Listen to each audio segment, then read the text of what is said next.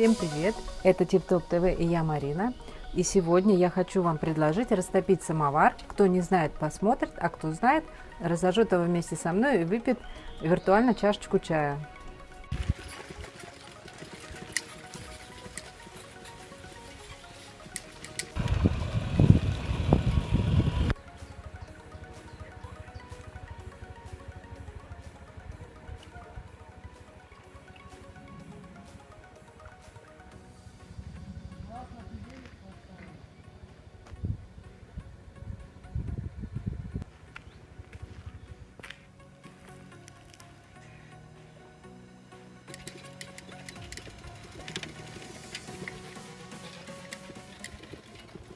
Прикатили наконец весенний лес.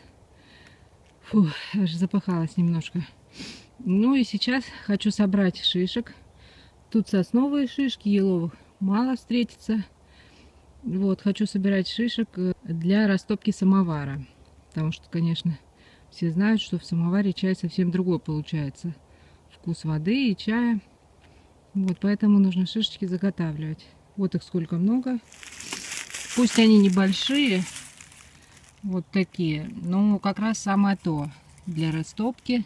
Плюс лучины еще.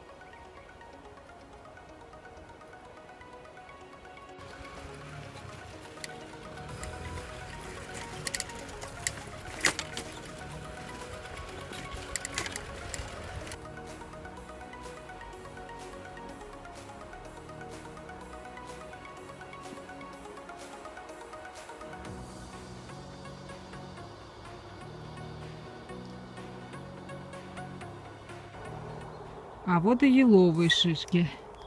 Чувствую, будет хороший чай. Вот они еловые. Сейчас тоже наберу. Будет душистый чай. И от такого огня самовара вода становится мягкая, полезная. Чай душистый. Напишите, кто пробовал чай из самовара. Почувствовали ли разницу между таким чаем и чаем из электрочайника. Я хочу вам предложить растопить самовар. Для этого нам потребуются шишки, как раз которые мы собрали в лесу. Тут шишки и сосновые, и еловые, любые совершенно. А, они нам пригодятся для розжига. Затем лучины нужно наколоть. Вот, желательно березовые лучины. Вот они здесь даже с корой попадаются. Бумага. Также труба для того, чтобы создать тягу самоваре, чтобы лучше он растапливался. И, конечно же, нам понадобится сам самовар тульский. У меня очень-очень старый самовар, даже не знаю какого года, тут еще медали на нем, написано РСФСР. В некоторых местах он даже чуть протекает, но это не важно. Главное, что сама идея э, чаепития из самовара настоящего русского, э, на дровах, на шишках, вот, это ароматный чай получается, мягкая очень вода, мягкий чай и, конечно же, это даже своя, своего рода философия. Для начала нужно снять корону у самовара, затем снимаем верхнюю крышку. Естественно, я заранее промыла самовар от пыли, от всякой всячины и заливаем воду именно в отсек для воды. Закрываем крышку, устанавливаем его назад, все проверяем. Так, теперь для того, чтобы наш самовар быстрее занялся, мы бросаем угольки в специальное отделение. Вот здесь труба посередине. Там у нас будет самое пекло.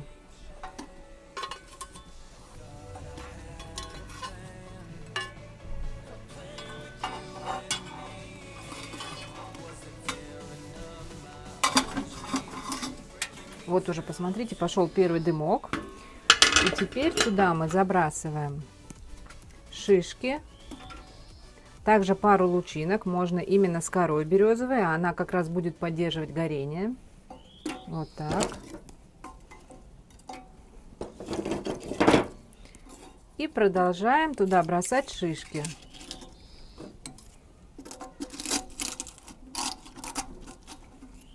Вот так. И обязательно нужно поставить вот такую трубу для хорошей тяги. Вы сейчас увидите, будет прямо из нее вырываться пламя. Настолько тут будет сильный жар. Вы посмотрите, какая уже началась тяга. Внизу, посмотрите, есть поддув. Видите, отверстие это как раз для того, чтобы сюда проходил воздух. И поднимается, поднимается тяга. Вот этот вот дым выходит через трубу. В какие-то моменты будет отсюда вырываться пламя. То есть специально должна создаться такая температура для того, чтобы вода начала кипеть. Смотрите, какая тяга. Оттуда э, вырывается очень сильный огонь, э, все шкварчит, трещит, даже какие-то пощелкивания. Вот. И можно еще будет потом добавить или шишек, или лучины. Вот, послушайте, какие звуки доносятся из самовара.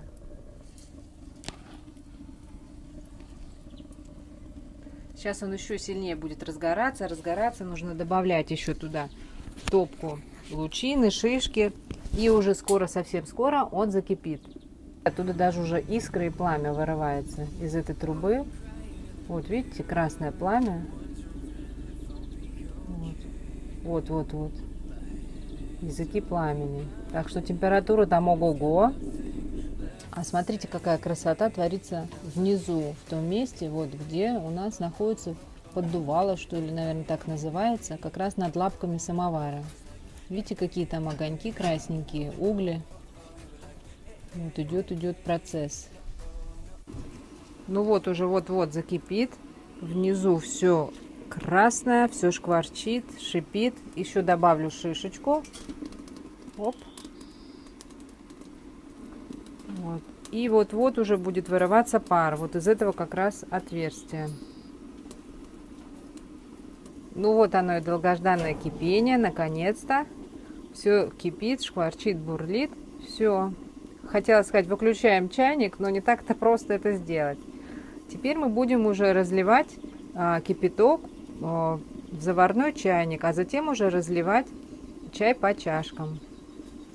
Вот, убираем трубу для поддува, и он уже будет поспокойнее подогреваться. Вот, оденем корону. Вот, на улице постепенно стемнело. А поскольку самовар дымит и никакой нет возможности занести его в дом, поэтому я перелила а, кипяток в керамический чайник и буду разливать уже из него. Так удобнее, я считаю. Вот, и сейчас я вам хочу показать, а, какой обычный травяной чай я делаю и какие чаи мы обычно пьем. Я собираю травы летом, весной, осенью. И у меня получаются вот такие коробочки небольшие, из которых уже можно составлять а, травяной чай, именно какой вам подходит на данный момент. Самое главное в травяных чаях, что, во-первых, вы должны знать, какие травы вам противопоказаны. Это самое главное, потому что, например, а, при сахарном диабете – при беременности, при гипертонии. Очень многие травы противопоказаны, поэтому в первую очередь ознакомьтесь, пожалуйста, с этим, чтобы не навредить своему организму. Затем в чае должно быть обязательно нечетное количество компонентов, то есть или 3 травы, или 5, или 7 и так далее. Вот у меня есть такая коробка. Это у меня осталось с прошлого года еще заготовленные. Видите, уже некоторые заканчиваются. Здесь э, в основном основа чая моего травяного это иван-чай. Вот здесь листочки это ферментированные, поэтому они такие темные. Другое название иван-чая это киприус калисный.